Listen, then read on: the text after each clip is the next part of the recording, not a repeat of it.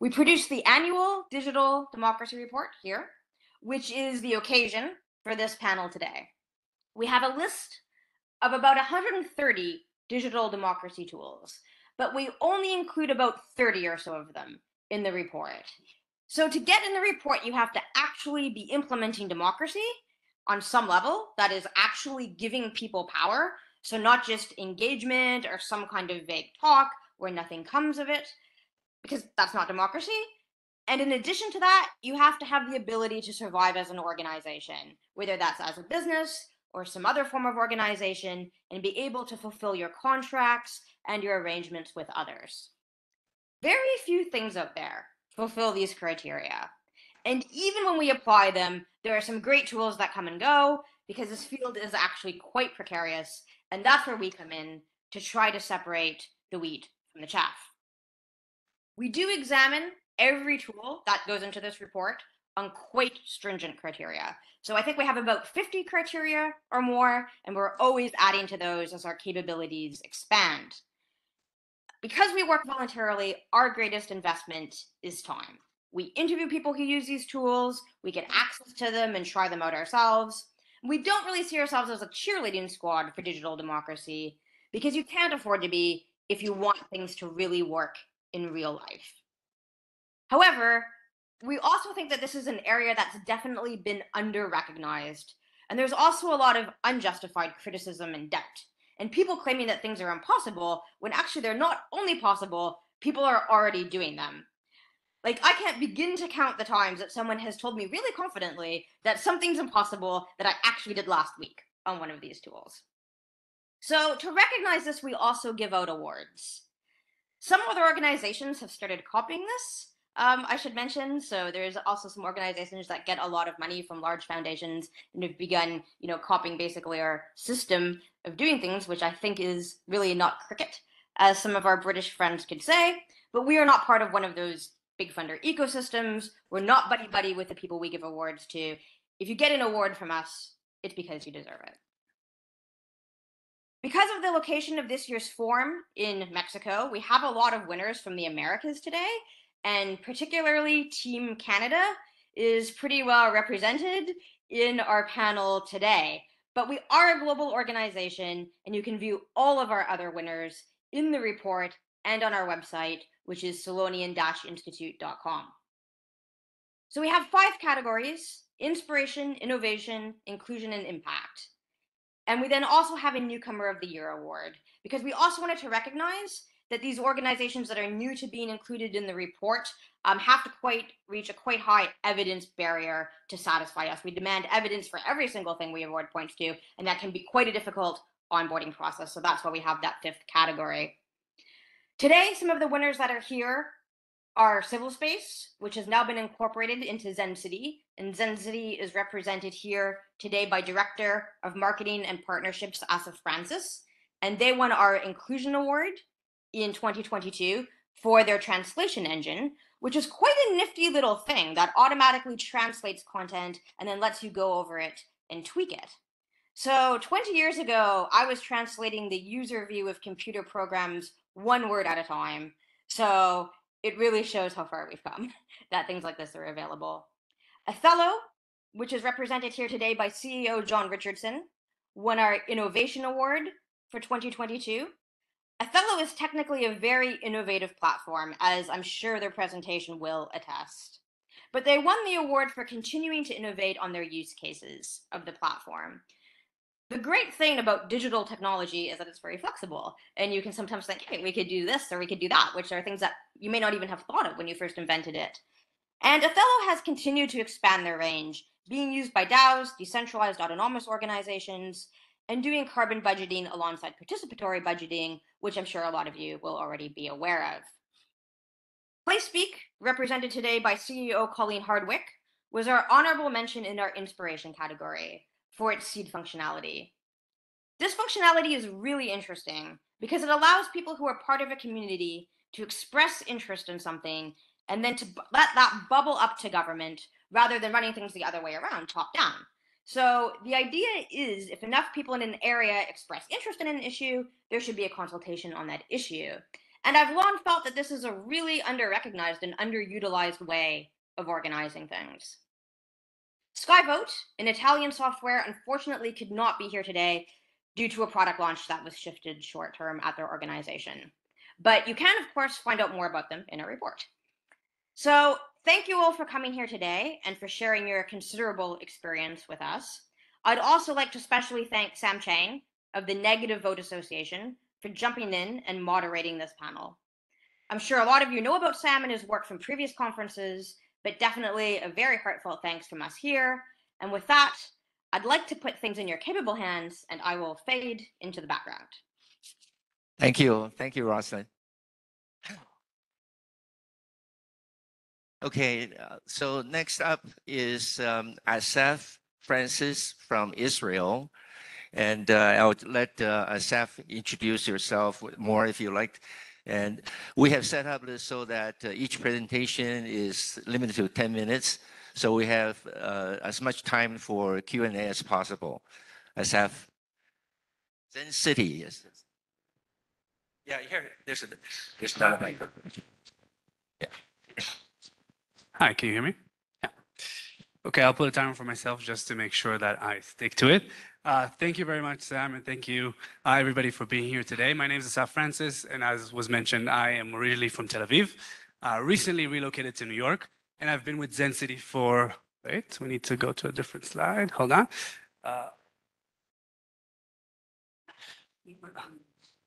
Yeah, so. Wait, it's up.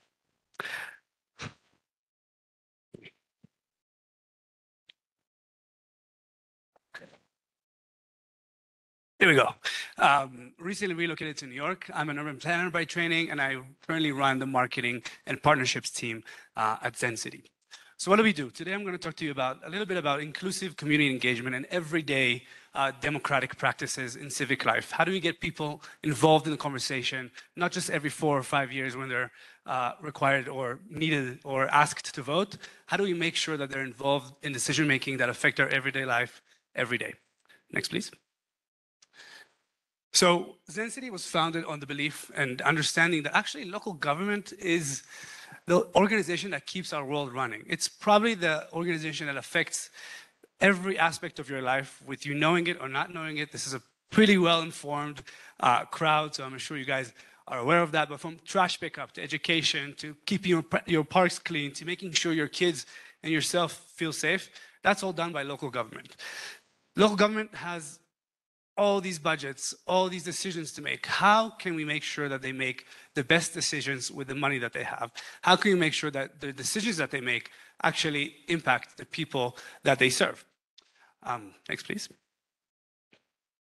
So we're currently very proud to serve over 300 local governments uh, uh, around the world. Majority of our clients are in the US, but uh, we work with cities of all sizes, from the city of LA in California all the way to the village of Lemont in Illinois. So really from over uh, 8 million to about 15,000 people across the world. And what we help them do is build trust, and we'll talk about trust in a second because it's a very important concept here. Improve services, and by that, increase satisfaction from services. Next. Building trust.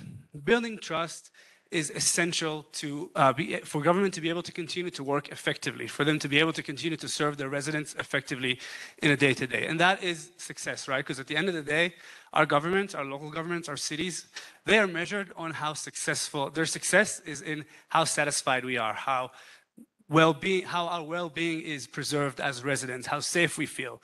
Um, and therefore, trust is a major part in, in making sure that success exists. But to build trust, engagement is very much necessary, right? If decisions are being, are being made in a vacuum, then we have less impact on how those decisions are made. Who here has ever participated in a town hall meeting? If you raise your hand. Great, okay, so three, four, five, six out of the crowd here. Usually it's what you see, right? If you are being called into a, into a in-person town hall meeting, usually empty, look at the hours, right? Thursday, August 10th, 10 a.m. to 2.30, not that many people are able to attend. How do we make sure that we hear beyond what we call the STP, the same 10, 20, 30 people that have the resources, the time, and the ability to come to these sessions? Next. So this complex problem requires a multifaceted solution. There's no one way to do community engagement, and by no means we're saying that we should do away with these in-person meetings. Those are very vital, and the hearing from those really engage residents is critical. But there are other ways. How do we increase that conversation and make sure more people are being involved? So, as we're saying, it's hard to hear and reach beyond the STP for community input and participation, but also it requires significant effort, time, and resources from the local government to continually collect this feedback, right? If we want to, as a local government, get checks and balances on what we're doing, understand if we're on the right track, we need to invest a lot of time and money into continually doing that. How does Zencity help uh, in that respect? Next. So the basic assumption is that we need to meet residents where they are rather than having them try and come to us. What we're saying is if we know by now that, for example, in the US, smartphone users check their phone 50 times, 52 times per day, how do we get into their smartphone when we ask them for a decision that we, when we need their input? How do we meet them where they are? How do we find them on social media, on the blogs that they read, and in the places that they're already visiting online? Those engaged, those engagement town halls that we can find online. Next. So we make it easier to gather meaningful input by hearing more voices, lowering the bars, the barriers for participation, again, like I just showed, and easily getting meaningful takeaways. Because just hearing and getting input from hundreds or thousands or as many residents as you are able to engage is nice, but how do you consolidate that into insights? How do you bring in the essence of what residents are actually wanting? What are their needs? What are their priorities? Next. So our solution provides four different set of tools. One is sentiment analysis. We scrap whatever online conversations are publicly being held online about the city or the county, and we bring that into the platform. We analyze it according to sentiment, negative, positive, or neutral. We run community surveys on a multitude of topics that run continuously rather than every two years. Every quarter, the city gets a report about trash, about safety, about education, what do residents think, where do they want the money invested, what are their priorities. We have a digital engagement platform, which is CivilSpace. I'll talk about that in a second. And experience survey. Once you've engaged as a resident with the city, you get served a survey through your phone, through the app, uh, not an app, sorry, through through your number, your phone number, and you get asked a couple of questions. How was the service? How was the engagement? How would you rate it? The city gets that feedback so they continuously improve the service that they're providing. How much time I got? Great, three minutes. Um, click next? so how does this 360 approach help um, cities in major projects? So when you start off, you're able to recognize the needs and priorities by listening to the organic conversation that's already being held, or actually just running a survey asking about a specific project that you're trying to, uh, to get off the ground, getting representative surveys and uh, getting that information all sort of tailored into an insight that you're able to then use into um, the decision making for the project.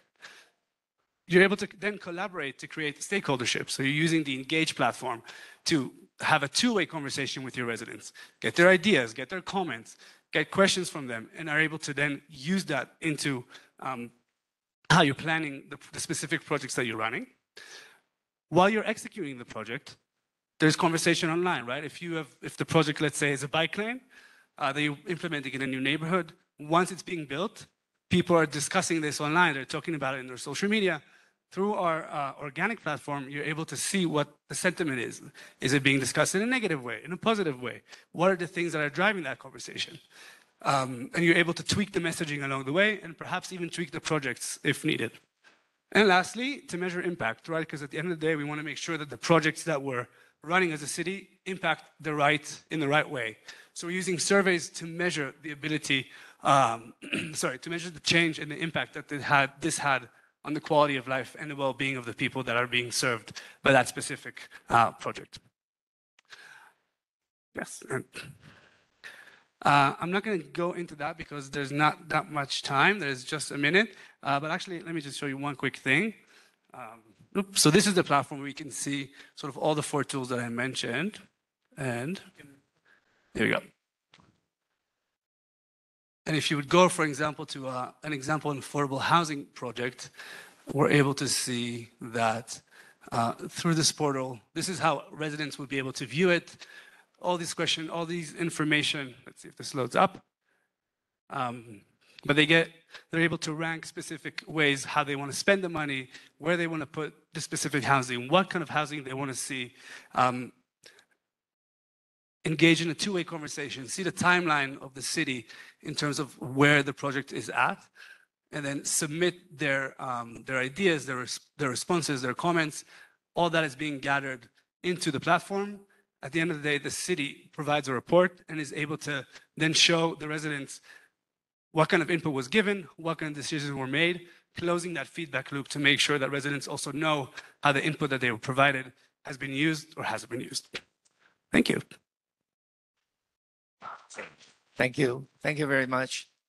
And I will ask the audience to hold on the questions and uh, we'll have the next presenter. After all the presenters are finished, then we'll start the Q and A session. Next up is uh, John Richardson from Canada. Thank you. So I have a PowerPoint lined up.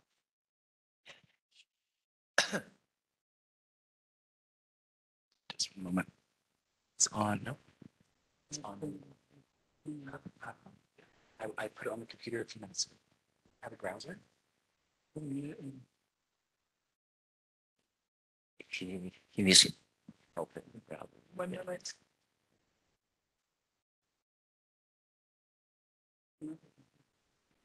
Have internet access. Can I have a web browser? Mm, no. I just loaded on the computer this before now. This computer? Okay, thank you. Yeah, go ahead. Yeah. The question is, how did you get 300 local governments to sign up? Um, and we have a great, oops, sorry. We've been around since 2016 and uh, we have a solution that really hits on a challenge because they are trying to get input. They're trying to build trust. They're trying to gain satisfaction from the residents. And there were no means to engage the unengaged, people who don't want to, you know, show up to a town hall meeting. So, yeah. hmm We're very persistent. Our sales team is very persistent. yeah. Great. Uh, So my name is John Richardson. I'm the founder and CEO of Ethelo. And we are uh, essentially a group decision-making platform. So we have a kind of a technology for enabling large groups and sometimes small groups to make complex decisions together. And we began about 11 years ago as a nonprofit organization, and we have a foundation as well as a company that works with cities pretty much all across Canada. We're based in Canada. Um, we've worked with, please. We work with about 150 different cities. Um, we're a B Corp, um, and um, I think Rosalind mentioned I had the honor of winning this innovation prize this year. Um, next. I'm just going to go with this side. So I'll just spend a moment here. I mentioned we've worked with about 150 local governments across Canada, but we also work with other kinds of organizations as well. Um, foundations, uh, we work with the Canadian federal government, political parties, uh, we work with a number of indigenous uh, governments as well, and um, you know, public agencies. In the last couple of years, as Rosalind mentioned, we've also started working with what are called um, Web3 organizations. They're also known as um, DAOs, Uh, distributed autonomous organizations.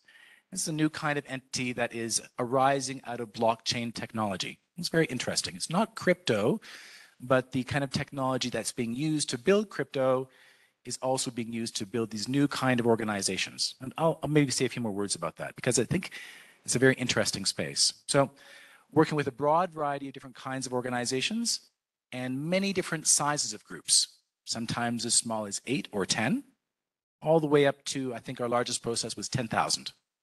Okay? One of our most popular platforms is called Citizen Budget. So this is a, a you might describe how Ethelo works as a workflow. People arrive at a web page and they go through a series of um, exercises where they no where they can give feedback on for example spending decisions. So we've allocated about 10 billion dollars uh, over the past 10 years working with uh, local governments who are doing their annual budgeting processes on the platform. And in many provinces in canada it's mandatory to do some kind of budgeting process to engage the community. And sometimes it's as simple as, you know, the city will post their budget on their website and people can give comments. That's the very simple one. I think we would probably be at the more advanced end. And with the Ethelo process, people can give feedback on many aspects of the budget. I'll say a few more words about that. We're also used for granting processes or participatory budgeting processes. And we've worked with about 150,000 um, decision participants, you might say. Okay. So, you know, one of our clients is the Canadian government. And I put this here because I think it's nice, a nice way of describing what the technology does. It's a powerful algorithm for decision making, plus um, a social media interface for dialogue and interaction. So, and really the focus is group decision making. Okay.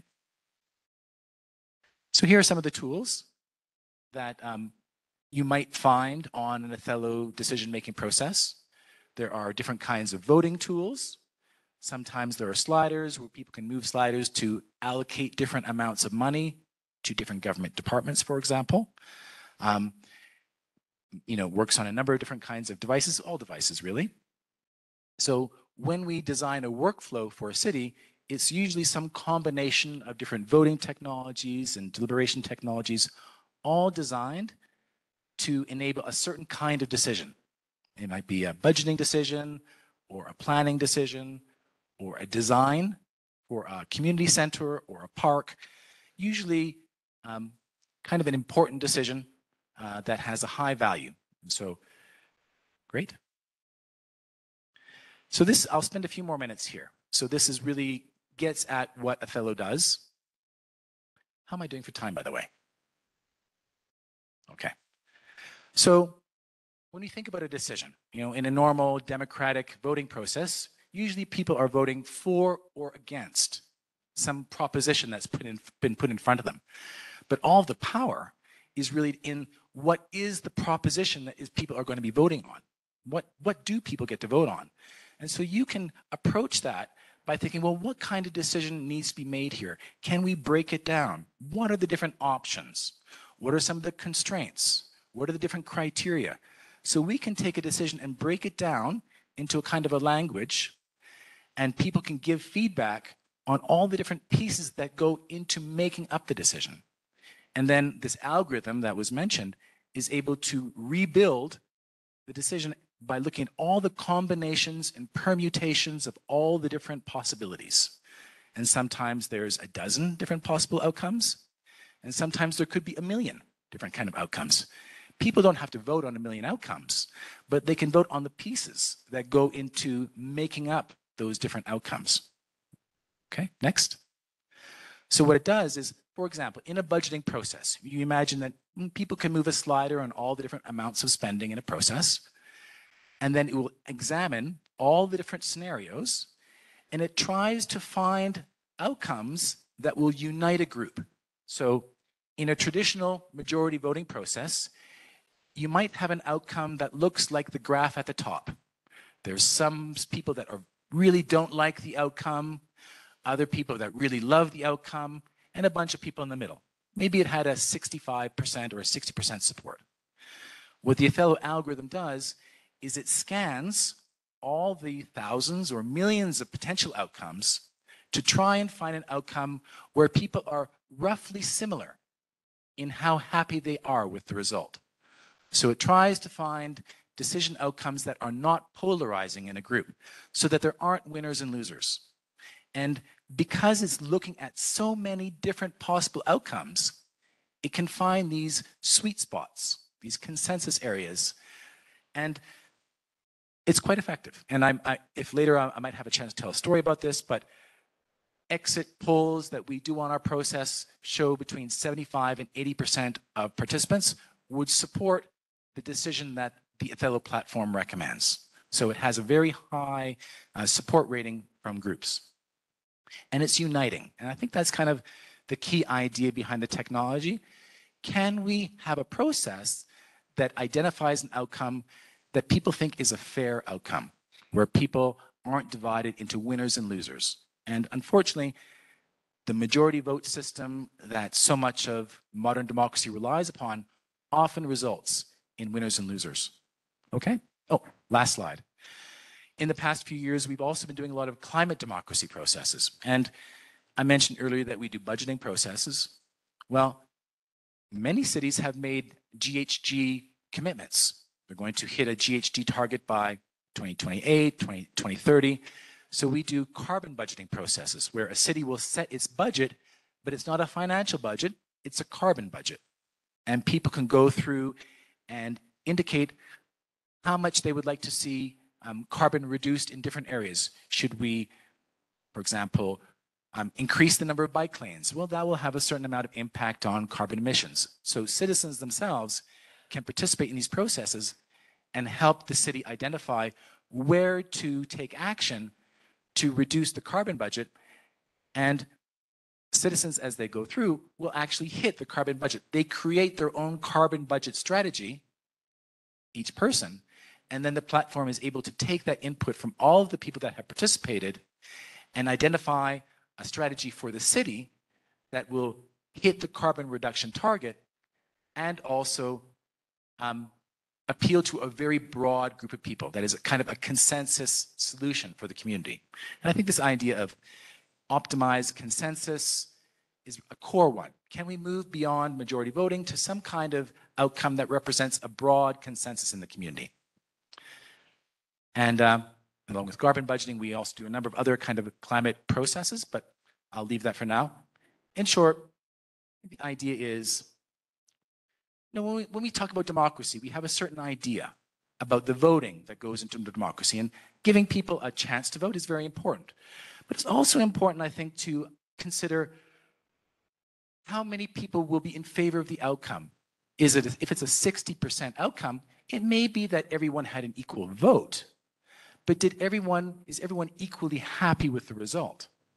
And can we have a conception of democracy that thinks about fair distribution of happiness at the result? Right, that everyone has an equal right to happiness with the outcome of the democratic process. And digital technology, I think, makes that possible. So, thank you. Okay, thank you very much. Very interesting indeed. So um, next we'll have uh, Colleen, also from Canada, and uh, Colleen take take the floor. Hopefully I can remember what I'm saying. Well, good afternoon, everybody. My name is Colleen Hardwick. I'm an urban geographer, also uh, academically, also a film producer, a serial entrepreneur, until recently uh, um, a four-year elected city councillor in the city of Vancouver. And I'm also the founder and CEO of, of PlaceSpeak. And PlaceSpeak was created to solve the problem of, of how to consult with people online within specific geographical boundaries in a provable way. I've got my slides.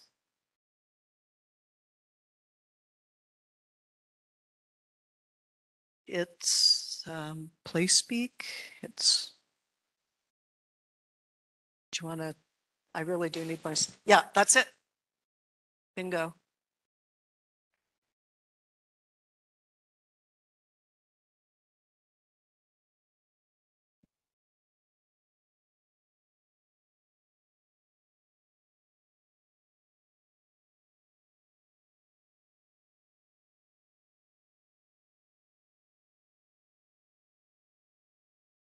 Okay.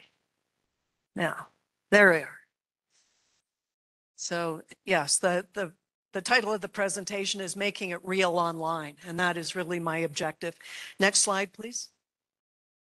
So um, yes, that's me up there. And um, I have recently finished four years on Vancouver City Councilor, which was a real eye opener.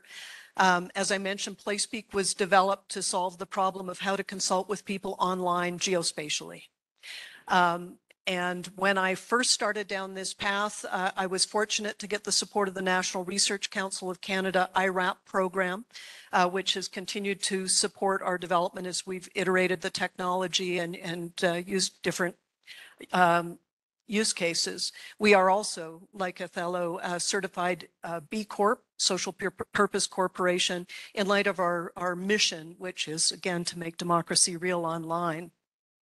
Next slide, please. Um, I also re-enrolled with in grad school when I started on this project with PlaceSpeak as my thesis topic in applied innovation. And part of that was in political science. And I took Mark Warren's grad seminar in political science to anyone that knows Mark's work in Participedia. Um, and I constructed this legitimacy framework. And for those of you that um, are em- embedded in democratic theory, popular control suggests that we elect representatives to represent us, so they need to know what us think in the first place. And we need to know that you're a real person and that you're a constituent. Considered judgment means that we need to be informed and educated so that the feedback that we provide is, is actionable and civil. Inclusivity or inclusiveness, we now know that we can reach more people online than any other way. Transferability is the part that most people don't think about. When you vote, you're on a voter's list, you prove it with your ID, you get your ballot, and you cast your ballot in private. Well, so too are we, should we take the same approach with, uh, if we're allowing uh, civic engagement and public consultation to be influencing our decisions? We need to know that you're a real person, that you're a constituent, and we need to protect your privacy. And we need to be transparent because seeing is believing, notwithstanding deep fakes. Next slide, please. So this is the feedback loop. We're supposed to consult and engage with residents to gather their feedback, which is the data that should be informing our deliberation.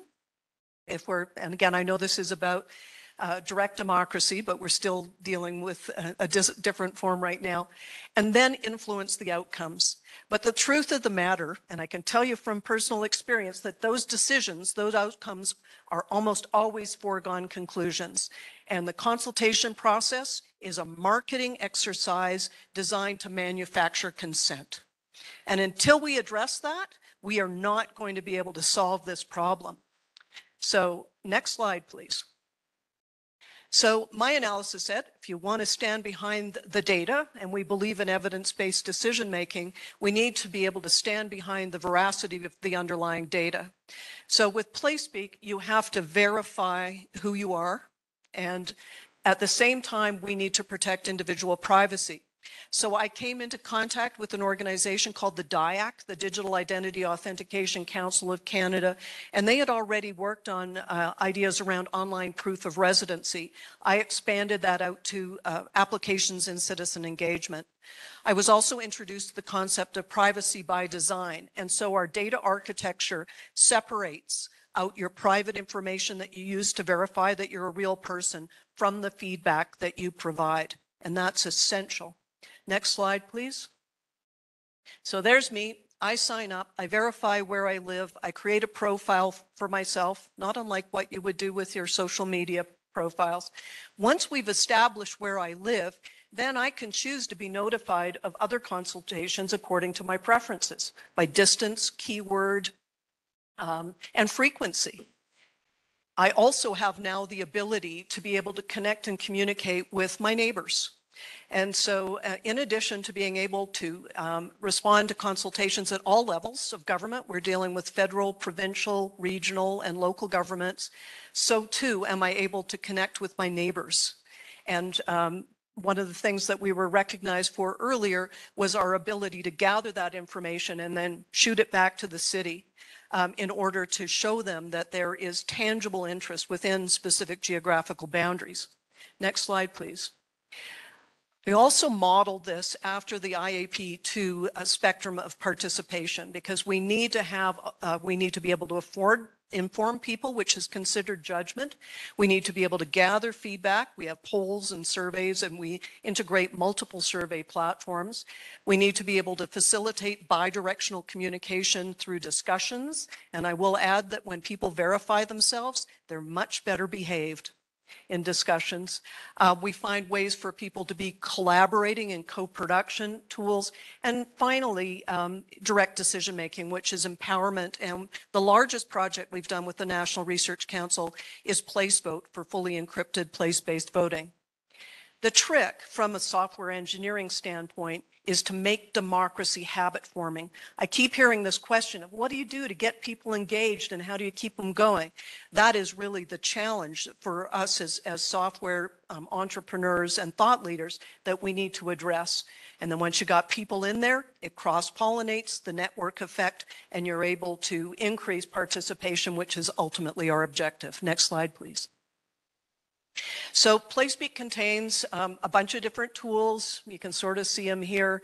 Uh, they address each of the areas in the IAP2 spectrum as I described, um, but all of the data that is collected is dynamically geocoded. So whether we're talking polls or surveys, discussions, notice board, all these tools, when you get to the reporting stage, all of it is, next slide please, transparent. So all of my data is going to be uh, spatially segmented according to the polygons that you put on the map. But I can see most of our tools have been designed for transparency. So you can see in real time how people are responding. One of the tools that I developed was called a Sentimap for spatial visualization of big text data using AI so that it, it, it attributes colors from red to green to attitudes that are strongly positive to strongly negative.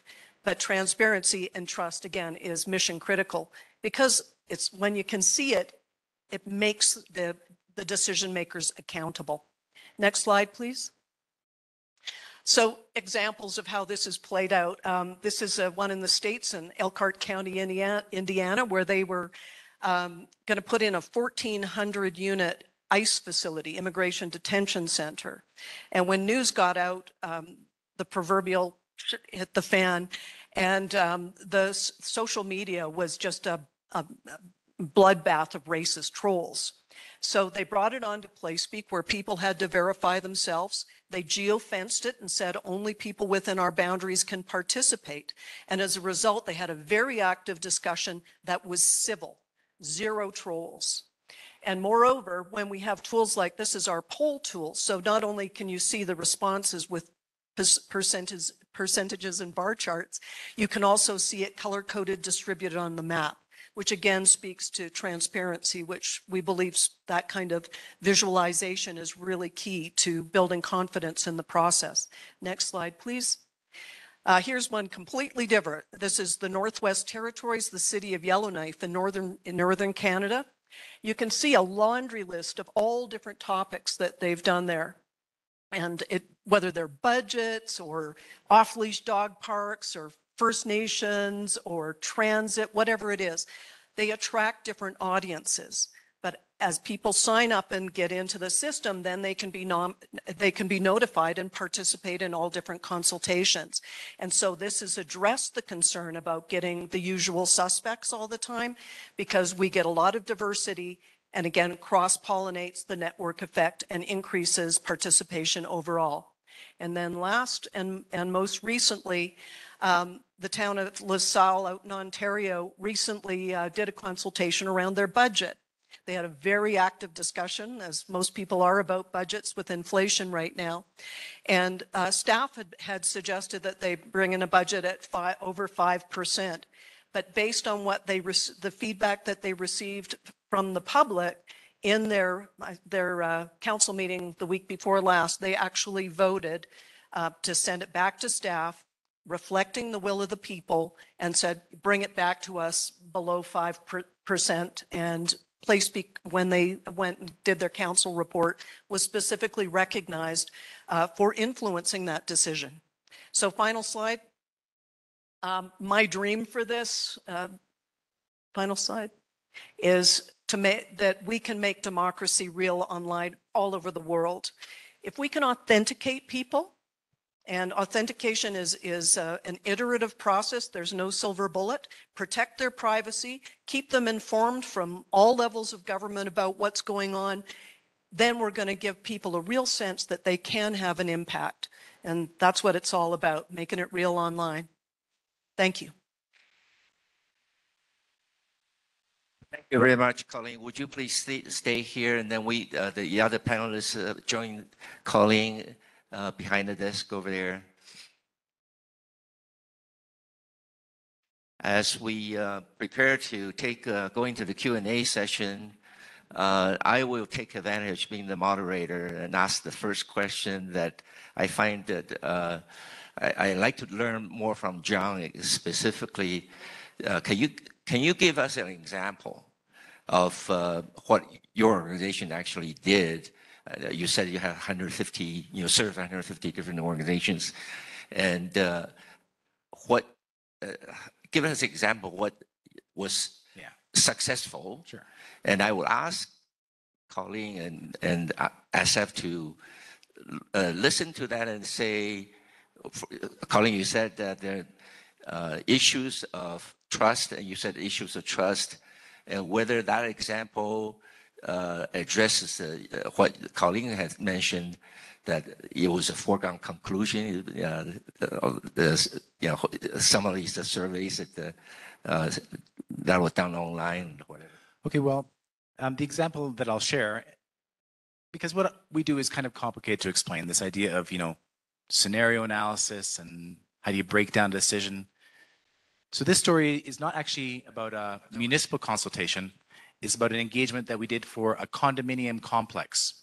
There's a lot of different housing units in a large building. And they had, um, when they built the complex, they were supposed to, there was a courtyard in the middle of the complex, and it was supposed to have slow go, slow growing short trees in the courtyard. But unfortunately, uh, they planted uh, fast growing tall trees. And after a few years, the trees grew very high and they started to block windows of people on the second and third floor. And, uh, you know, in these condominium complexes, people can get very emotional about their living conditions. And so there was a fight that broke out about what to do with these trees. The people whose windows were blocked said they get cut down the trees, get rid of these trees. I paid a lot of money for my view. I want to have my view. And then other people in the complex really like the trees. They're big, beautiful trees, and they they said, "What do you hate nature? What, what kind of people are you? You know, we love the trees." And so, you know, it just became very black and white, and people were very bitter, living with their neighbors and fighting with them. So um, one of the directors of the condominium complex heard about our company. They invited us to see if we could help solve the problem. And this is where we get to play with what is the question, right, that we were voting for. They thought we were going to have a vote. Do we cut the trees or not? But that's not how we approach these problems. We think, well, what are the options that we have? You know, there's we could do we could deal with trees that are blocking the window or we could deal with the trees that are on the south side which are really growing tall or we could do something with all the trees. And there are different remedies that we could take. We could replace the trees we could put bushes in we could prune the trees we could just cut the trees down. And how long are we going to do this? They didn't have very much money. So are they going to do it over a period of years are they going to do it all at once so what we did was we created a workflow where people could indicate their level of support to all of these different pieces of the decision. And in this case, there wasn't two outcomes, there was actually 36 outcomes because of all the different ways you could put the pieces together. So um, we had about 40% participation in the condominium complex, a fair amount of participation.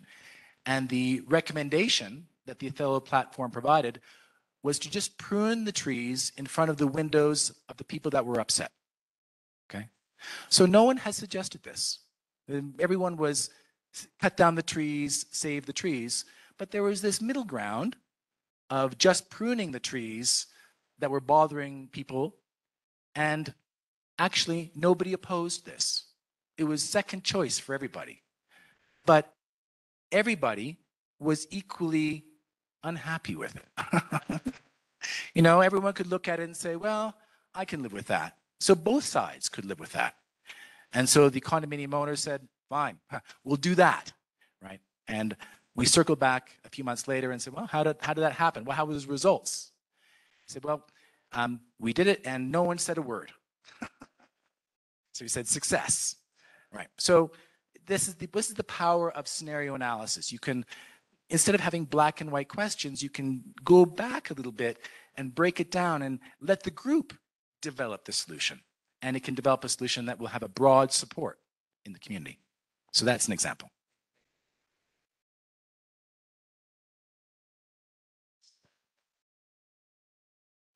Microphone, but uh, I was just wondering what you were saying that uh, there's other solutions that yes and no.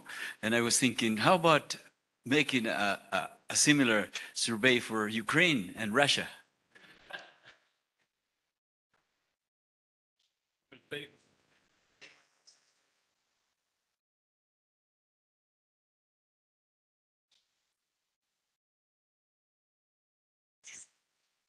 Hi, um, I've had a question about um, democracy making it real online.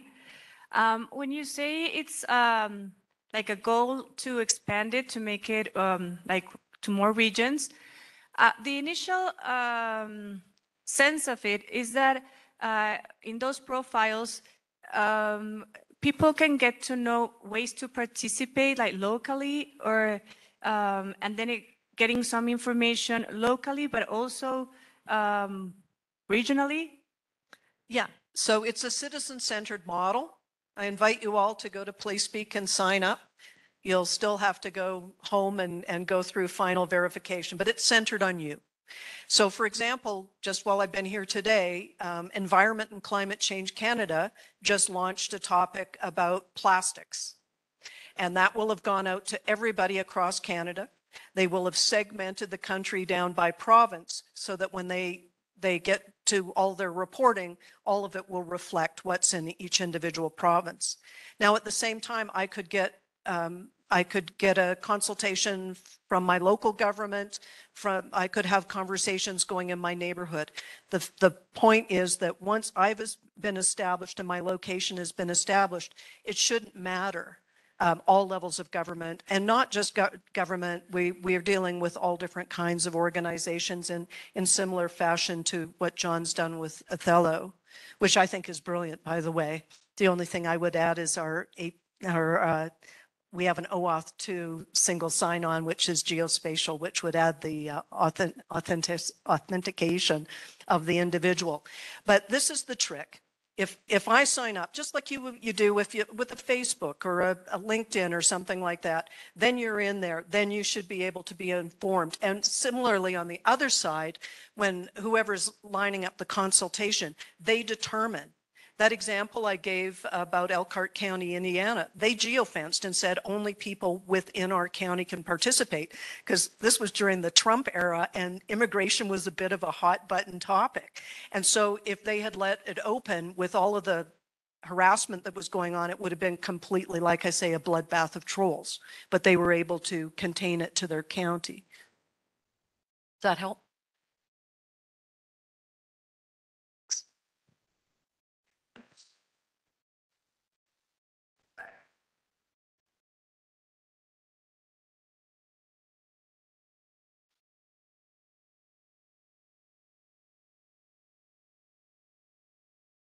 Hello. Uh, thank you. Uh, uh, all of your projects were great, wonderful. And my question is for Ms. Hardwick. And my question is, how did you promote PlaceSpeak? Because I kept thinking here in Mexico, uh, people are willing to give everything away in Facebook, right?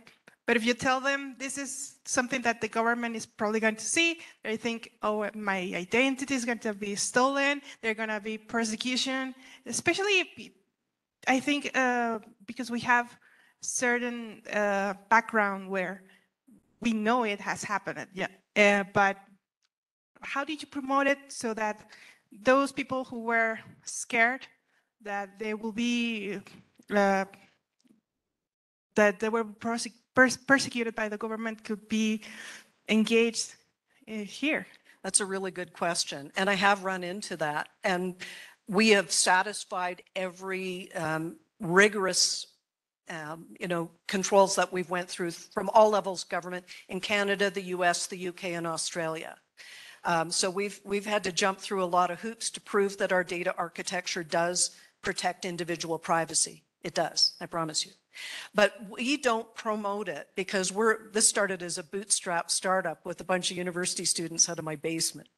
Um, so we just don't have that, that kind of money. So um, whether, again, it's in the federal government, the provincial government, the local government, it's their responsibility to get it out there. And, you know, we, we did a bunch of work trying to look for strategies about how to cross promote in social media and, and, you know, online and offline tactics. You need to do all of that to get people in in the first place. But with that example of Yellowknife that I gave, and they've been using it, I think, since 2015, um, they have just because there's been such a wide variety of topics, it's attracted a lot of different people, you know, more, some people care a lot about off-leash dog parks, for example. Um, and other people are, you know, some people do actually care about the budget. Uh, It's, although it's hard sometimes to get people to participate in that. But the next wave of what I'm working on, my next project with the National Research Council is going to be much more focused on the civic networking side of things. Um, because it, it, you know, it's one thing to wait for those consultations to come in and another thing to be able to, to be talking amongst ourselves. And that was the reason that we created the system for automating place-based notifications, which was referred to as, as our seed topics. So if there's open data around rezonings or development permit applications, for example, in a municipality, um, and it- we've written the code and it's on GitHub, it's open source, anybody can use it. It plots it on the map, notifies people according to their preferences, usually a two block radius. And if a threshold of people say that they're interested in participating, it shoots an email back to the city saying, hello, we want to, we want to talk to you about this. And here's the evidence. Thanks. Thank you.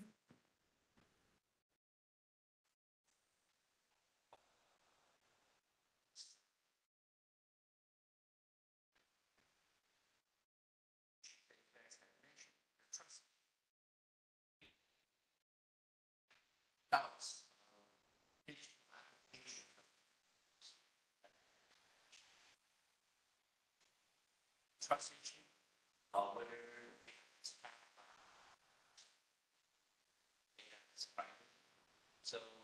it's not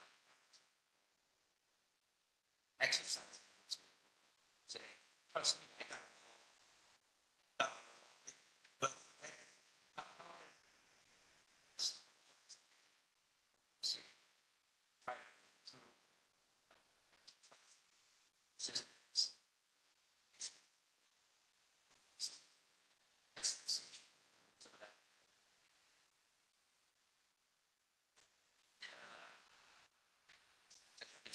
Sure. Yeah, sure. Um, what we try and do with with the local governments that we work with is when we launch a new uh, a new partner, a new client, we encourage them to share the fact that they've start off with Zencity, that they will be collecting data that residents share about their city, um, so that residents first of, first and foremost know that what they're putting out there, the city is listening and uh, will be taken into account.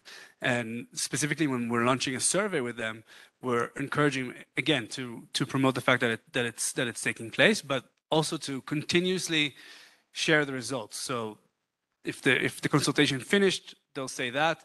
When the results are being taken to council, they'll say that. And when the results are being implemented into the program that they're trying to promote, we're we're also encouraging them to promote that and uh, on all their social media, media channels, public announcements, etc. So the idea is we go back to the concept of the feedback loop to keep residents from informed all the way to empowered uh, when it comes to that, and when the highest level of empowerment also brings up the highest level of trust.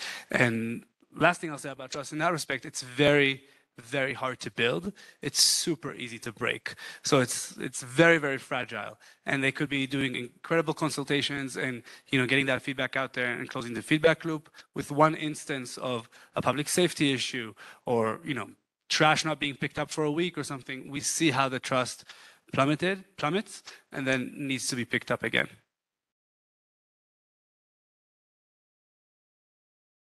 Um, there is an ongoing debate about digital identity, and um, there's let's say uh, you know what I think some of the one of the possibilities is to have a national level initiative. The Estonian government has a national digital identity card that every Estonian is issued. Canadian government is moving in this direction. I think that some kind of national digital identity is probably going to be the final solution that is really broadly trusted. In the interim, there are private market solutions that are gaining popularity. I mentioned this new Web3 space. There are some interesting new mm, digital identity protocols that are emerging out of that space. Our approach is actually um, very low threshold. So when we do a public consultation process, we make it possible for people to participate without providing any personal information. There's no login, there's no sign up. Anyone can land on the platform and start engaging in the participation.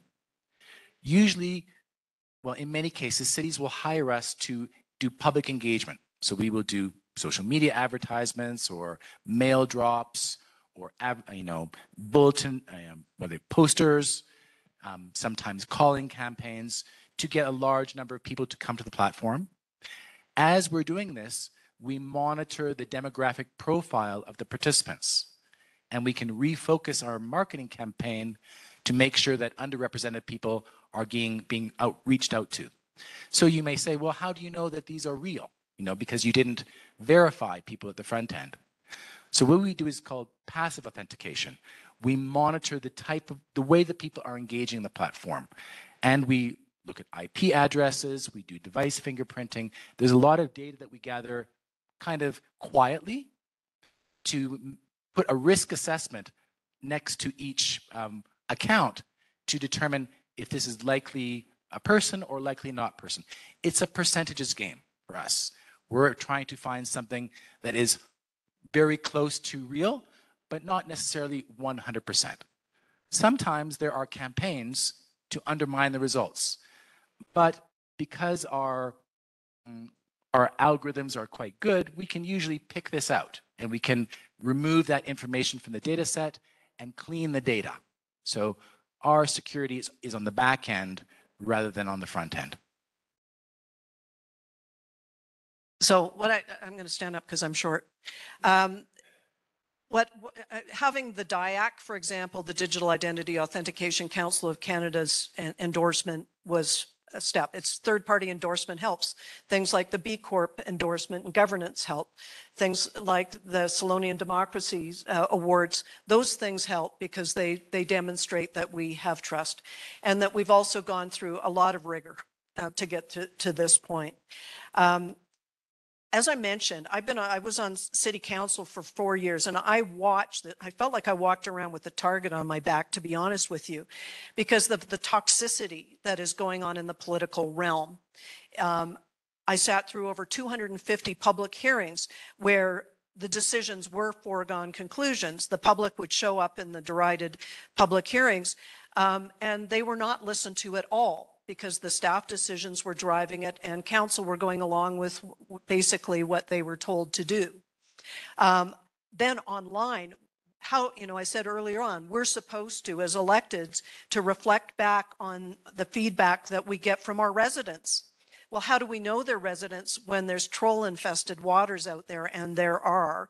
We get, we are on the receiving end of email generators, um, everything that you can think of, every organization, there are lobbying companies, there are troll farms, there are all of these different organizations and entities that are out there trying to create the impression of a false majority to skew the results. And so uh, this is why I think we need to make it real. We can't just um, do it in the back end. And of course, we check IP addresses. That's all the that's all the really basic stuff. But until we're willing to stand up and, and say, I, I am a resident, I am a constituent, I'm legitimate, and I should be able to provide my feedback in a democratic fashion and have it acted on, um, we will continue um, to be uh, prey to the, the larger agenda. And as we said earlier, the status quo does not want to be disrupted.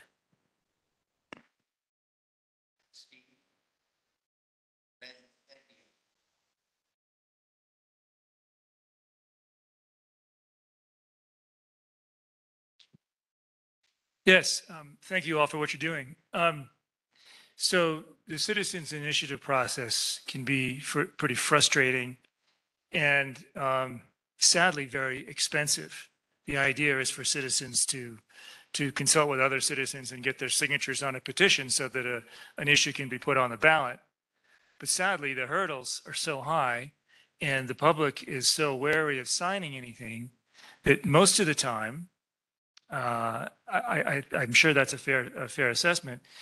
Uh, groups that want to put things on the ballot have to go out and hire paid signature gatherers. It's insane. So what is, should be fundamentally democratic becomes an issue of hiring people to do this chore. So um, I wonder if you could just give us a little update on the, the, uh, where we are with uh, digital signature gathering. Um, Are there, are there good, safe systems and, and uh, are they being used anywhere?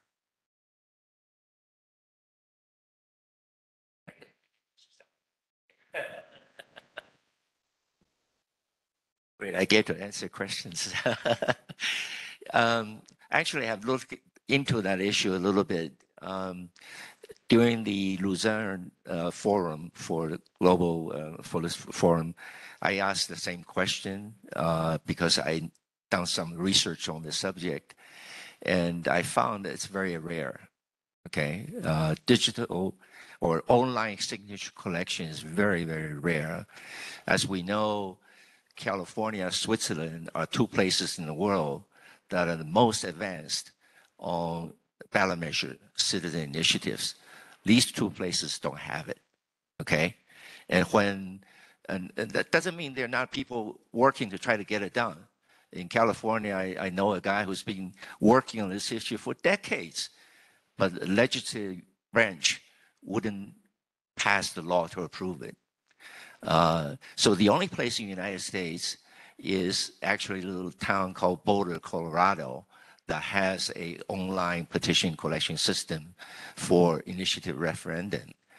In uh, uh, in Asia, the only one I know is in Taipei, and that has something to do with that, you know, to to get it to get it done. Okay, and uh, uh, in Europe, uh, there are a few countries, uh, not too many. I understand something in Italy, um, and Estonia is, is really a wonderful uh, place to to to. Uh, they do everything, almost everything online, right? So, um, so there are very very few places. I think it's not a technical issue. The technology related is is simple. Uh, it's, it's simply political will.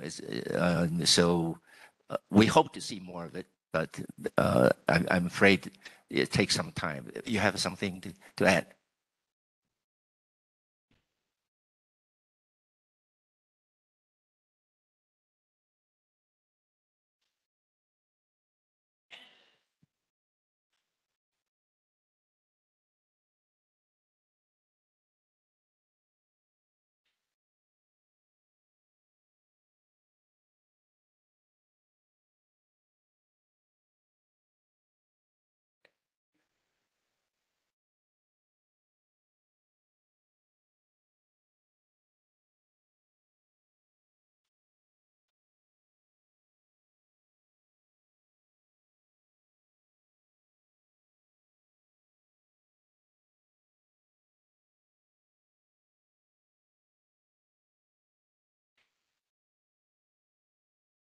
Yeah, absolutely, absolutely. You're right over there.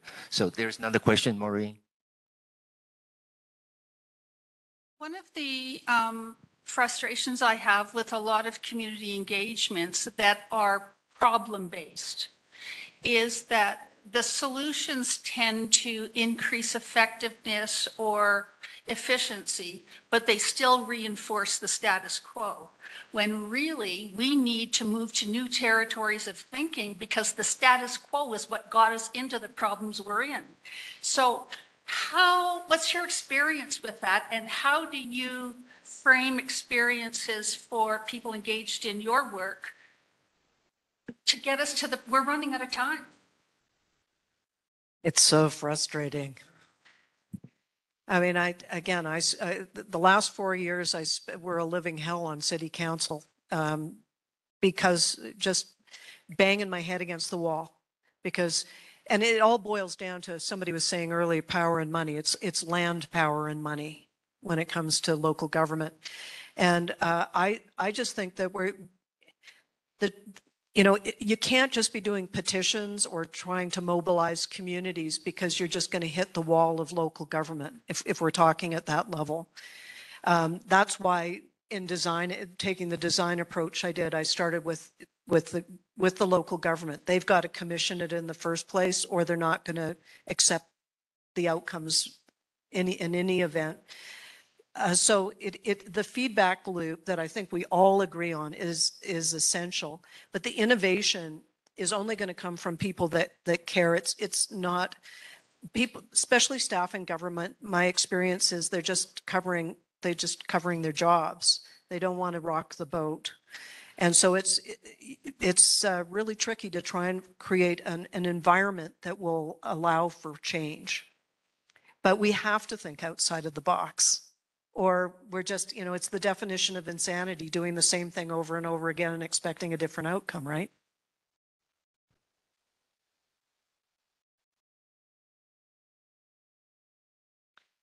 Yeah, well, I've been doing this for more than 10 years now, so, but I'm still trying. You got to be, you- I think everybody here at this conference is ready to speak truth to power. That's something we all have in common. Um, I'd like to thank you all. Uh, it's been interesting to see the differences between your, your platforms. Um, but I think, correct me if I'm wrong, but I think something that they're all in common is that they essentially, the model is to partner with council or entity or whatever it is, and uh, you're helping them um, solve their problem. It's not so much a citizen empowerment tool. It doesn't start from the bottom, but they initiate things um, on your platforms and sort of force um, upwards um, change. Is that is that right, or can can we can you? Well, I'm going to jump in. I'm Yeah. sorry, I don't want need to dominate this, but um, we, you need a business model in the first place for this. And all the two-sided markets are so, like social media, for example, are advertising driven. And advertising sells your eyeballs and interferes with our privacy policies, right? So, you know, we, I think all of, of, of us have settled on software as a service as a model. So the client side becomes whatever level of government or agency. Um, But what I'm trying to do with PlaceSpeak with the citizen-centered model is to enable both. We both have the, the government asking the people, and then we have people within the neighborhoods, within the civic network, talking amongst themselves. And that's why um, we got the, the honorable mention and, in the Solonian Awards, because by doing the automated place-based notifications, it invites the public to, to come back and, and then petition City Hall about what they want to see happening in their neighborhoods. And as I continue to develop this next phase in the project, it's going to be very much more focused on the individual within a the civic networking context. So I think, um, so I'm not just looking at building tools for government, but I think you need to have both working in tandem to make it successful model.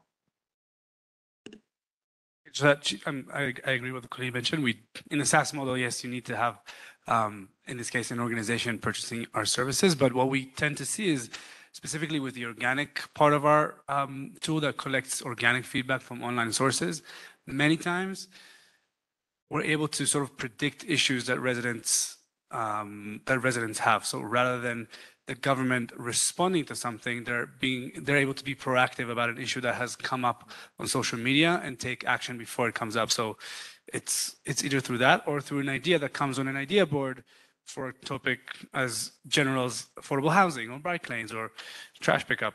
So it's the the primary um, um, organization we serve as local government, but the issues that we address are driven by residents' needs and priorities. I think the last two questions really identify a challenge in the space. You know, the local governments are the ones that are paying, and they do control to a certain extent the agenda and the questions that get put. And they're very conservative, you know, and they're operating in a power structure that is really driven by elections. And and so that is honestly a challenge in the space, you know. And I know that in Europe there are some platforms that are very ground up and they do have political influence. I haven't seen so much of that in North America we work not just with local governments, with you know other types of organizations as well. So in some cases, we have been retained by nonprofit organizations that have an issue that they want to advance. So for example, we work for a nonprofit coalition called um, Disability Without Poverty. And they use our platform to develop a, I say a policy platform around a universal basic income for people with disabilities. So they use the group decision technology to lobby government. So in that case, we worked outside the government, but still we work for somebody. You know, they, we did have someone that paid for our fees and it was a nonprofit in that case trying to influence a government body. But yeah, it's one of the challenges. Do you understand my, my, my point though, is that you're, you you are compromised when you work with the council. Often community consultation means tick a box and you, you, you, you, you, you and I know that you- you're doing a better job than that. But, um, you know, your answer, um, Colleen, was that you'll be notified about other issues in your area. Your answer was that if people are chatting about it online, maybe the council might pick it up as an issue for themselves.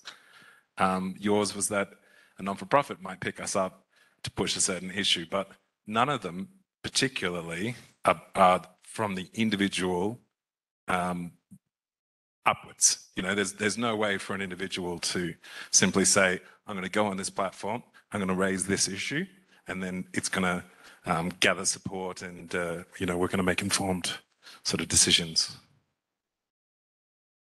Entirely. So the, what I was showing earlier, and I didn't really have much time, is if there's a specific project on a specific issue that's general, right? The city wants to get um, feedback on an affordable housing plan. A one-person idea that starts on that thread and picks up by other residents that comment or the city reacting to it would has a chance, and we've seen that happen with some projects that we've done. You can check our website. Yeah. Yeah, um, yes, I'll just finish the, the rationale of it. That does allow for that one specific person and their idea to be to be um, to be promoted. Yeah.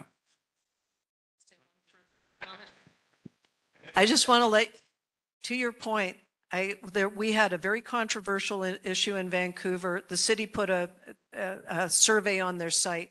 They had 35,000 responses, I think more than ever before. At the same time, citizens did a change.org petition. Same thing, they had tens of thousands of responses. Staff got a hold of all of that. Council looked at it. And do you know what they decided to do? Hire a consultant to do a standalone um, uh, survey with equity-seeking groups. So it's a, this is the wicked problem that faces us. And I think, I still think that there's a way to be doing this that is generating, but it's got to be done in such a way that, that is going to be legitimate.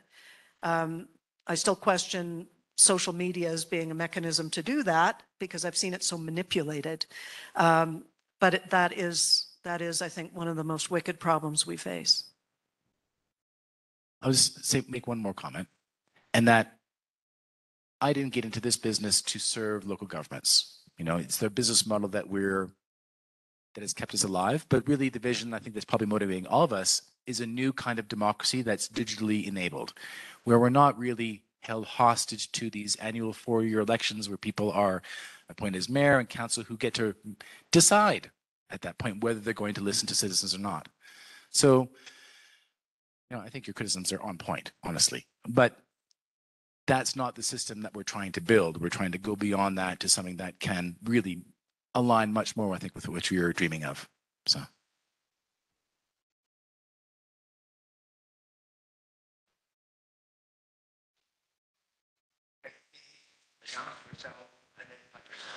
Hi there. Um, my name is Olaf Brett from Notnagel. I um, worked with an organization called Lowercase D in New York City to um, uh, get more direct democracy rights there. Um, we didn't get that far, but um, what that work um, highlighted for me uh, and what the question you asked also and what your responses all highlight for me is really what I am most interested in advancing uh, participating in this conference is uh, modernizing the right of initiative. In places that have initiative rights, we need to open those processes up using the technology we have to make the entire process from the conception, the drafting, the qualification to get on the ballot, the deliberation, the vetting of the evidence, all of this stuff that would mitigate, you know, the failure of, uh, particularly in the United States anyway, of our representatives to provide a democratic public sphere. Um, But uh, I beg your pardon? Yes, that would, the place to go at this point to, to, to show that we can do this is places that have initiative rights, using those initiative rights to modernize, to modernize those rights. Um, Do you have any thoughts on that? I'm game. I Yeah. wish I lived in such a place. Looking, you know, looking for collaborators. entirely that issue. But I also want to call out uh, sensitive area, uh, finance. Uh, These kind of works, uh, takes money. And uh, you, you feel you are, you are aware uh, systems. Are you financially enough, to feel that, you trouble. Uh, How, how, how do you make a living? Do you have enough clientele, support? Uh, How, how are you supported, whether from business or donations and so forth? Financially? I would be surprised if there's many companies in this space that are financially healthy. We're, we're doing it for the love of it. I'm, I'm, I'm, are we? Yes. you know, how you get your money is actually very interesting. So there was, was, and I say was, a company in this space called Bang the Table, right? And um, they took VC money. So there's ways that you can scale your technology, but depending upon the type of capital that you take, that will set your fate also. So now they've been absorbed by an even bigger company, and they're frankly out of the game. They're not in the democracy game anymore. They're in, you know, municipal software game, right? And so, or the other way you can go is, well, I'm not take the money at all, and then you die. So, you know, I, it was so interesting that Roslyn made those two criteria when she made the intro. They have to be doing something interesting, and they have to be still alive, because so many. I tell you, this space is littered with the corpses of idealistic people that had enough money to go for a few years and then died. Yeah. I can just add to, to that that um, the GovTech space financially is is actually not in a crisis. There's and governments themselves are not in recession because they are, you know, they're they're funded by tax taxpayers' money and taxes keep flowing in. Um, so if you see private sector organizations laying off hundreds of employees uh, in the GovTech space, which we're all in, um, we're less affected. We see we don't see budgets getting slashed completely. It's actually the opposite. This is sort of the time for governments to catch up with their private sector counterparts in terms of the technologi- technological gap. How do we? Because residents expect services to be digital.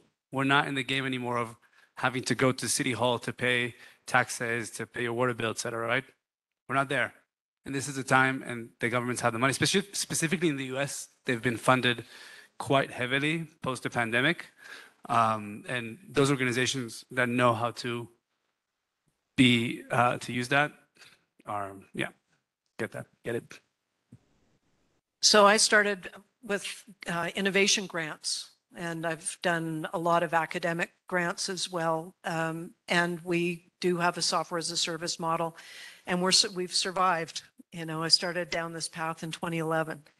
Um, But what I can say with respect to the GovTech market is that it has become privatized for all intents and purposes. It is profit motivated. And, um, you know, that's one of the reason that, that I, that we became a B Corp. Uh, it- Our objective was not to be, I wasn't trying to become Mark Zuckerberg or Elon Musk for government. We were trying to um, be disruptive in the name of, of making democracy real. And that's the, the big challenge because government is going to, and again, I can tell you, I just spent four years as an elected official. They are going to do, they're going to go with the path of least resistance. They're not going to do anything that is, is innovative and they're certainly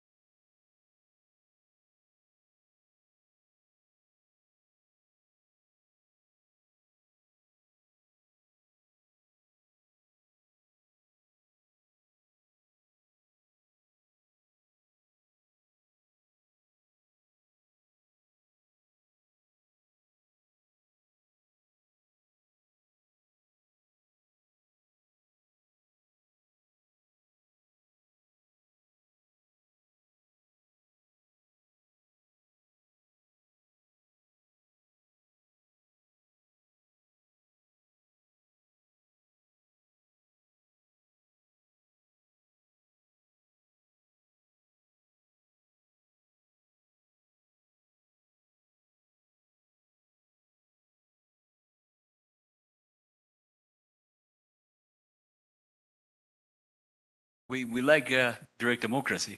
That's what they say. Now, but my question is, what, uh, what would happen if, uh, if the government uh, was friendly to digitizing the, the system? Would you all go out of business? No, they digitize the system. It's not a question of whether it's digital or not. It's to, it's a question of, of whether it's real. I mean, the government are using all different technologies now. There is a, you know, as, as Roslyn pointed out, there's hundreds of companies that are, are developing digital tools for government. It's not a question of whether it's digital or not. It's whether it's real or not, because it allows you to manufacture consent. And that's my biggest concern with the existing models. Uh, sorry, I, I didn't make it clear. I, I meant digitizing the collection of signatures for, for the initiative.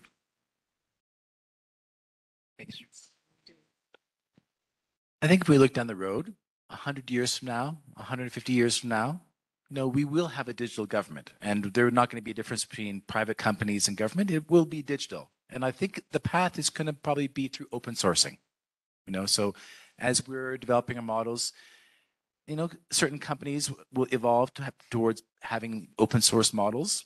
And I think that I think the future of government is digital. How we get there, I'm not completely sure, um, but I think we will. I think it's inevitable. Yeah, maybe.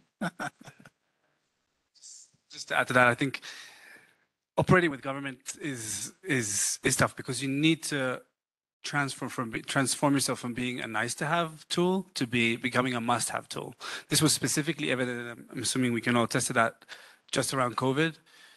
When COVID hit, we were okay. Well, what's going to happen? Governments are now dealing with the biggest crisis that they've probably known over the last hundred years.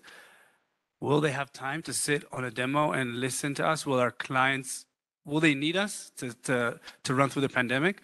And we had a clear mission for our team to, to be on the COVID pile, right? Because everything else was swept away. If it wasn't about COVID, don't deal with it now. And we found and we also adapted our solution to make sure that it actually answers a real need in times of crisis, but also on a day-to-day basis uh, when you work with government. And I think that's that's that's sort of a, a, a rule to success long term in this type of market. Anyone else have questions? Then uh, I would like to call the session to a close and thank the panelists with applause for, and thank yourselves for participating. I, I personally learned a lot. Let's go to party.